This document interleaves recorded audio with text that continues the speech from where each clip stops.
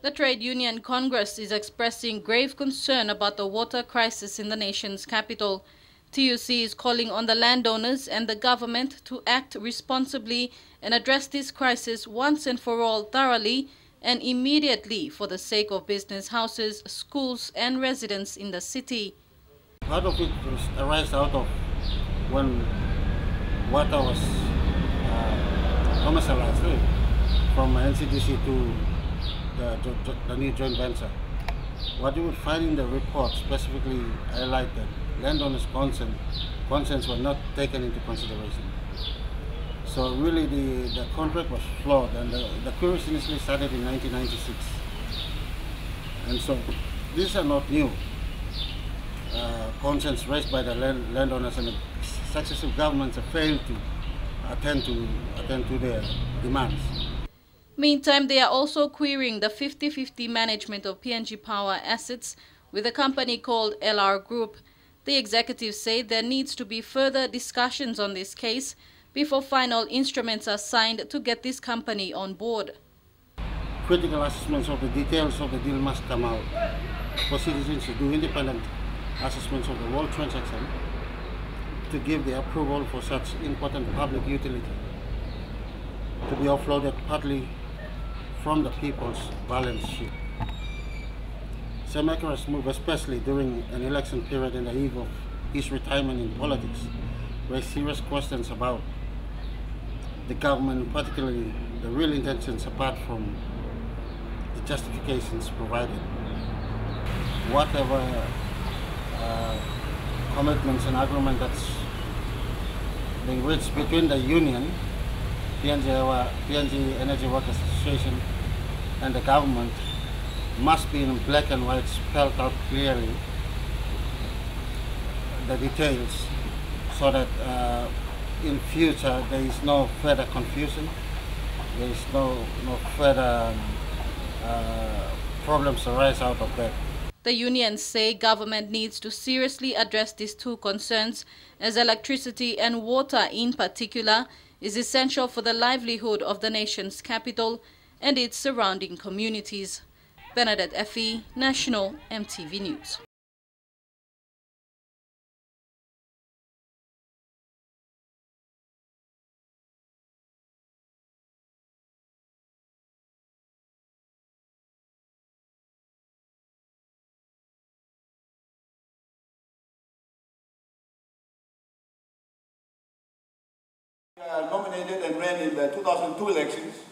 Out of the 27 candidates contesting the seat, less than 10 candidates accepted the invitation to attend the debate today. Main issues the candidates were asked to talk on were land, settlement urbanization, Motu Koitabu, transport, water, and NCDC internal arrangements. Each candidate present was given 10 minutes to tell those present how he or she will address the issue if given the mandate. Nobody Gideon's prepared. Are we prepared for the benefits that are coming on shore? I don't think so. We've got to look back at the city. You know, the city, from the pressure of the LNG project coming on board, you can, you can already feel the suffocation that's happening. The roads are getting congested. Goods and services are becoming more expensive. And you, I think all of you should know, know by now that this is also one reason, this because of supply and demand. There is a big demand for land and yet a very, very small supply. And we need to open up this demand. Home is only one. I have one platform, and that's to improve the living standards of every resident in property in Port Moresby. But for me to do that, I got to, I got to actually deal with a few issues. And one of the main issues I got to deal with is land. There is no water in the settlements. I went into Kanudi yesterday, and there's a very big note saying, no water, no vote. Can you imagine? That hit me. And it's not only affecting, now it's affecting all of us because Koiaris decided to shut down Sirinumu Dam. And I say thank you to the Koiaris because settlers have suffered for so long. 20, 25 years they lived in settlements that have had no water supply. No illegal settlements means only one thing. Removing the tech settlements and bringing them to be part of this society. Port Moresby, part of our urban way of living. That is the only way forward. If we do not address that, Everything else does not fall into line. Water, power, roads don't float in the air. They don't go underground. They are built on land, just like everything else. If you can get that right, you can get everything else correct. Apart from UPNG students were both domestic and international election observers. Most candidates blamed bad management which has led to all social problems in the city. Meanwhile, polling for NCD is on the 26th of this month, which is next week Tuesday. Michelle Amba, National EMTV News.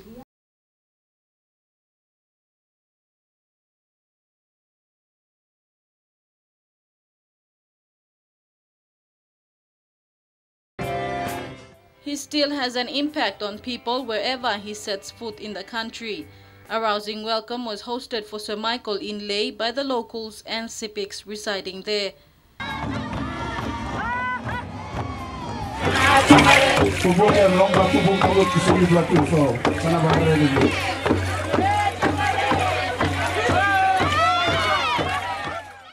Morobe Governor Luther Wenge told hundreds that the government is running the country illegally since August 2, 2011, following the vote of no confidence and a change in government which sparked a continuous political fight over the legitimacy till today.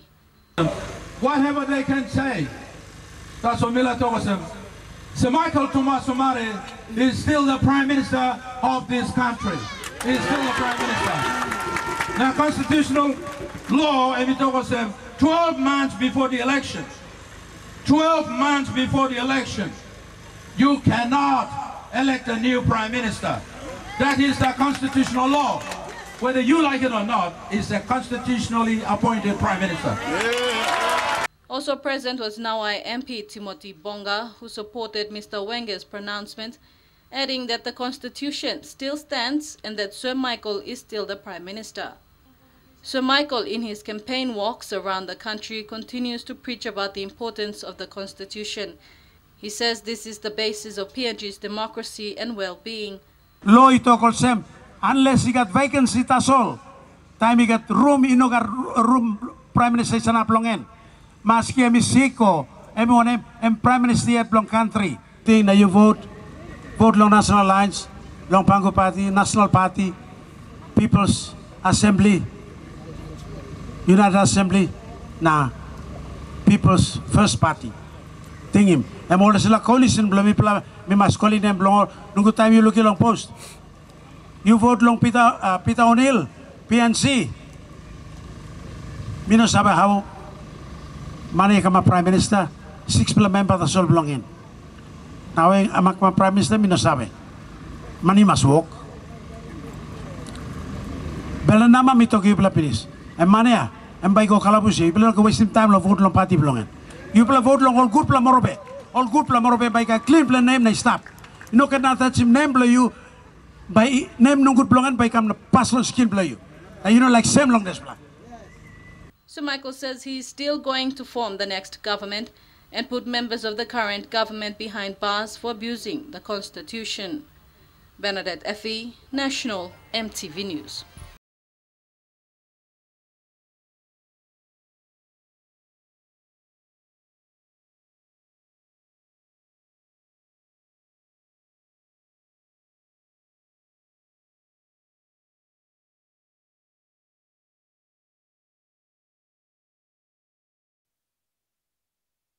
On behalf of uh, my Lenones of Kutubu PDL2 and Gobe Lenones, I want to appeal to the government, the Southern Highlands Provincial Government, the National Government, Chief Secretary, and the, the responsible department heads to immediately pay outstanding for uh, Lenona payments, infrastructure development grants.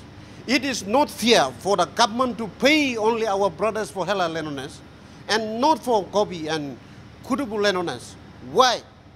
Government must now come to settle this outstanding 21.3 million kina for infrastructure development grants for the landowners of Kutubu and Gobe. Why not pay? I want to appeal that government must settle these payments before the polling. Like Soimam, the national government lo delay the I, IGG funds, infrastructure development grants, blon um, Gobe PDL 3 and PDL 4. Mibla sawalsem blok tari orgo pem pinilon tari na dam second karmigo all pem here. So mibla wait also bamile kisim same time. That's something you go lose lo namel na mibla confused. Usha department or one member or one uh, secretary one department by, by Mibla. Uh, today Mibla asking Prime Minister, loan come up clear, loan Togar, loan Mibla people blow, Gobe, Erave, Kikori district. What's happening with the, all the IDG money, MOA funds, and all the funds is here? Why no all no come out? Clear na talk sablo Mibla or some money is or some more some. Na blow by kissing on this time. This la kain talk to all no make him clear on Mibla.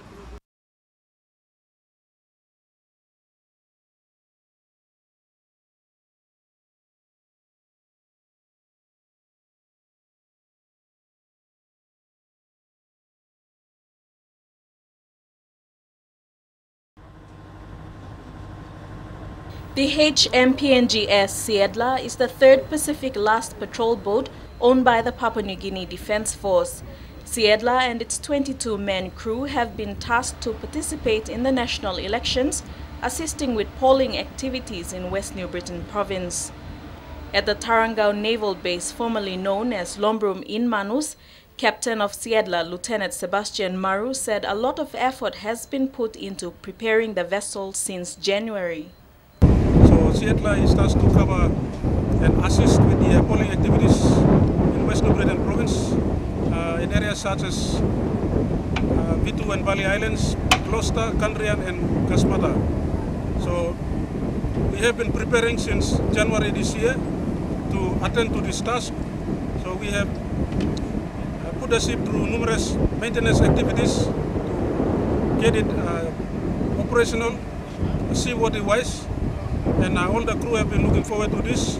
A minor worker program was conducted between Seeadler and HMPNGS Rabaul, which will assist in the western islands of Manus.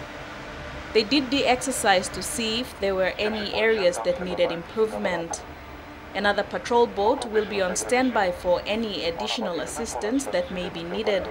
The crew will be out in full Navy uniform for the operations. Commander Leo Kase from the PNGDF headquarters was at the patrol boat base to launch the engagement of the patrol boat fleet. He said they have to ensure that the maritime fleet has to cover outlined areas of the New Guinea Islands. My advice to you is conduct yourself